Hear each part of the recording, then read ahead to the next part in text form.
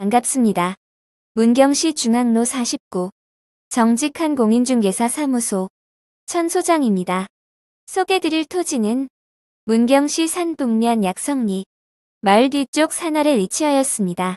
산북면 행정복지센터에서 약성리 토지까지 4분 1.8km입니다.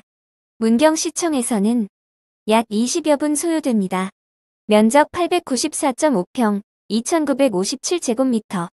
계획관리지역이며 지목은 답입니다. 관정 지하수 있으며 전기 농막 있습니다.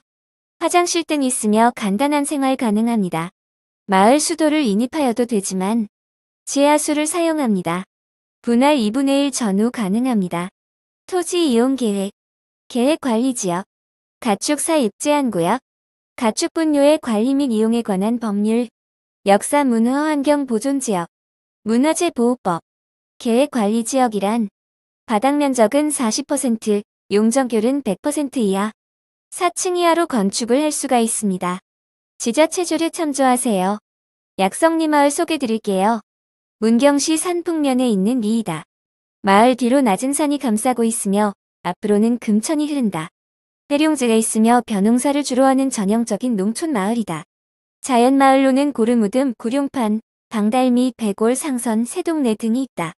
고르무듬은 앞에 고려장이라는 큰 무덤이 있어 붙여진 이름이다.